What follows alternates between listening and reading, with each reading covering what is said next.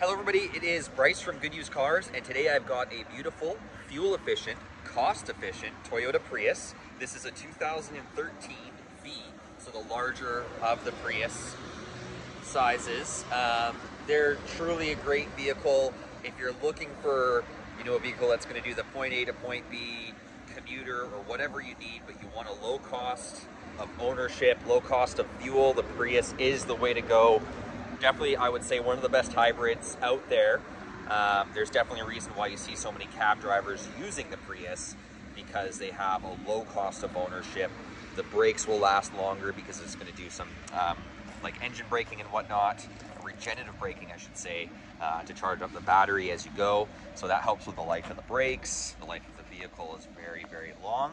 Um, they are truly awesome cars. This one's well equipped. It's a 2013. It's got the double sunroof here. It's a proximity key, alloy wheels on the outside here, fog lights, which is great for the area that we're in. When you're on the Malahat in the winter, it's, a, it's foggy a lot, or if you're in Sooke, it's foggy out there. It's just nice to have them. Let's take a look on the inside.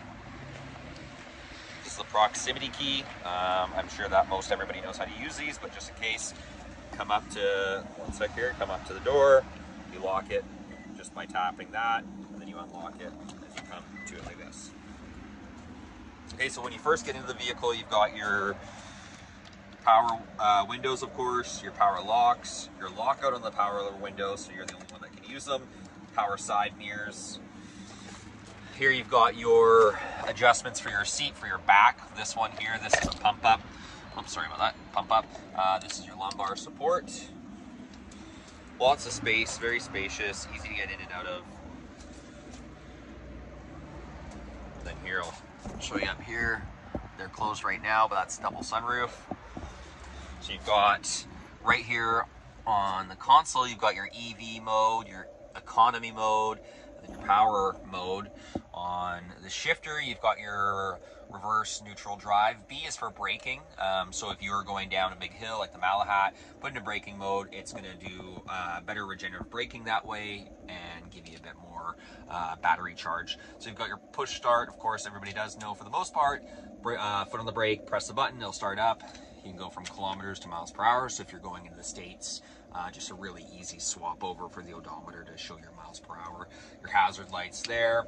This does have the automatic dimming uh, rear view mirror, which is great because if someone like a big truck's behind you, they've got bright lights, it's going to dim it right away, so it's not blinding you. You can see here, these are three uh, garage door programmable uh, buttons. Just a nice, nice vehicle.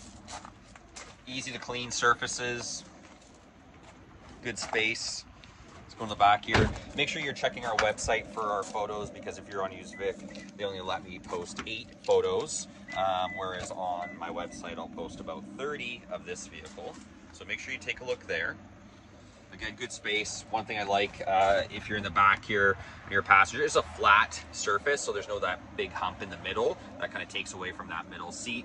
Just feels a little bit more roomy here for anybody that's sitting in the back as well. And then again, you've got your, your um, double sunroof, which is open for the pictures. And then here you've got this guy, which is gonna bring that seat down. Nice thing I like about this seat too, it's hard plastic. So if you have anything um, in there, as you can see, there's some scuffs on it. It's not actually gonna wreck the seat because it's designed to keep your seats protected at the back. And then here you've got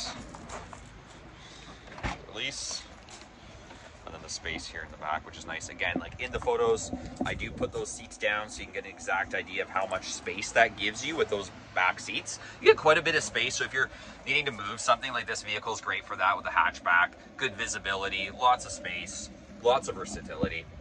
And here you've got little cubbies here, so you can put some stuff in there. They do that just so they can keep, um, when those seats go down, I would assume it's a bit more of a flat surface than a big gap trunk to the back. So yeah, if you have any questions about this car, uh, let us know.